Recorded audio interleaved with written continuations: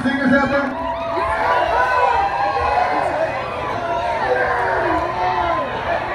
Check this shit out here.